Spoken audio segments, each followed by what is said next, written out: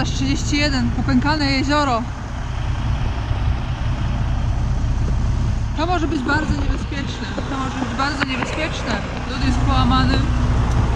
Przy wjeździe może się złamać całkowicie. I mogę zatonąć. Dlatego co zrobię, proszę Państwa? Co ja zrobię dzisiaj?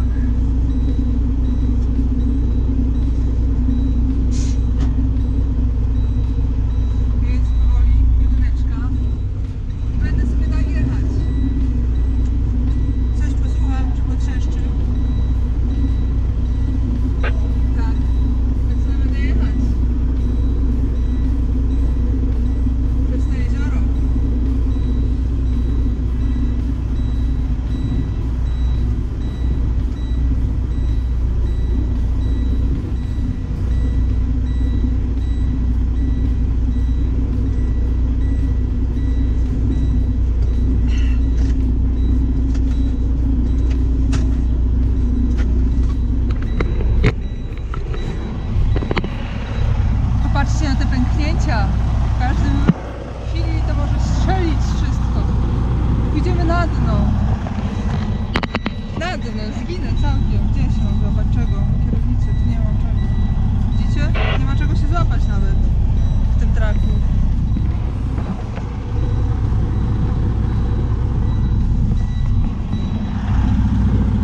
Popękane jezioro.